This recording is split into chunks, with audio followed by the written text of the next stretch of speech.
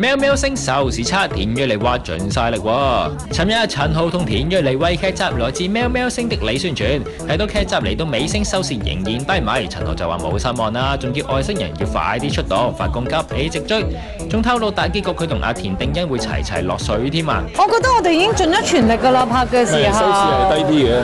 但係我哋嘅信心都冇乜點動搖嘅，我哋深信會上翻去嘅。其實我都我都聽到阿毛講嗰、個嗰嗰樣嘢就係即係有人講話，誒喵喵喵喵聲好似最近好睇翻啲喎咁樣，咁所以其實我覺得慢慢大家一路睇落去，其實後面對於我自己拍嘅時候，我覺得個結局對於我嚟講我都幾感動嘅，即係誒係好寫到寵物同埋個